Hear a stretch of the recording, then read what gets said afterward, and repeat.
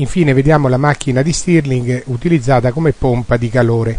Anche in questo caso bisogna utilizzare un generatore esterno che fornisce l'energia elettrica in modo che la macchina di Stirling possa riscaldare una certa zona che in questo caso sarà la zona eh, rappresentata con A mentre la zona B si raffredda perché il calore viene sottratto a B per essere ceduto ad A. Può sembrare eh, identica al frigorifero, la pompa di calore, ma in realtà è diverso l'obiettivo perché il frigorifero vuole raffreddare una zona, la pompa di calore invece vuole riscaldare una zona. Ed è per questo che mh, è diversa la definizione di coefficiente di prestazione. Infatti eh, quello del frigorifero è incentrato sul calore sottratto alla zona da raffreddare, invece il coefficiente di prestazione della pompa di calore è incentrato sul calore ceduto alla zona da riscaldare.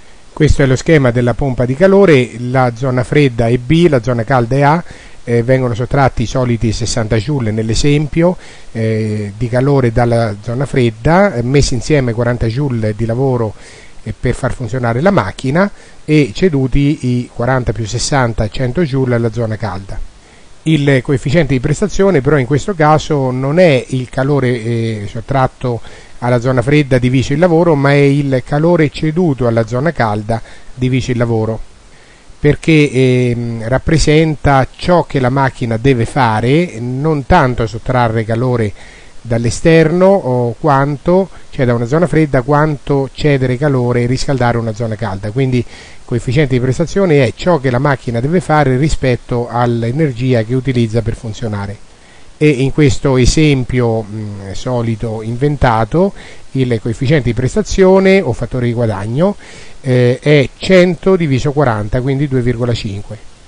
Per quanto riguarda eh, questa particolare macchina di Stirling eh, da laboratorio, di fatto frigorifero e pompa di calore sono due funzionamenti molto simili, perché le due zone A inizialmente si trovano alla stessa temperatura, poi durante il funzionamento eh, una si scalda e l'altra si raffredda.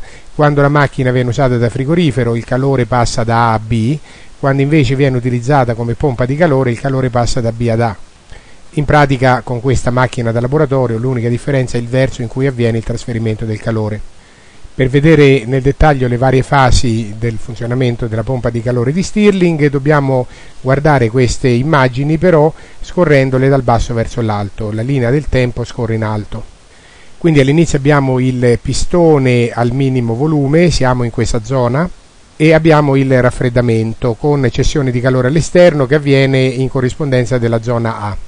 Intanto il dislocatore si sposta a sinistra e, e in questo modo lascia scoperta la zona B, cioè l'aria si sposta in zona B. Intanto il pistone di lavoro si allarga eh, per eh, realizzare l'espansione isoterma, durante la quale il gas, cioè l'aria, assorbe una quantità di calore Q1 e perciò la assorbe dalla zona B. Infatti vediamo calore Q1 che entra nell'aria e eh, viene sottratto alla zona B. Continuando a scorrere le figure verso l'alto, vediamo che il pistone di lavoro si sposta ancora più a destra e completa l'espansione isoterma. E, e l'aria, eh, nel, l'aria nel cilindro di compressione continua ad assorbire calore e siamo in questo momento in quella che simula la isocora di riscaldamento. Quindi continua a sottrarre calore alla sorgente B. Sarebbe questo calore Q che entra eh, nel, nel gas. A questo punto il pistone di lavoro inizia a comprimersi, quindi cominciamo la fase di compressione isoterma alla temperatura più alta. Il dislocatore intanto andava verso destra, si è spostato tutto a destra ora e quindi lasciando l'aria a contatto con la sorgente A. Durante questa compressione isoterma il gas cede calore appunto alla sorgente A. Questo calore ceduto va a riscaldare quindi la sorgente A che già era stata precedentemente eh, riscaldata dai cicli precedenti. Quindi, eh, siccome questo non sarà il primo ciclo ma uno dei cicli successivi, già abbiamo la zona A più calda della zona B. Quindi dalla zona B è stato sottratto eh, del calore che poi è stato ceduto alla zona A.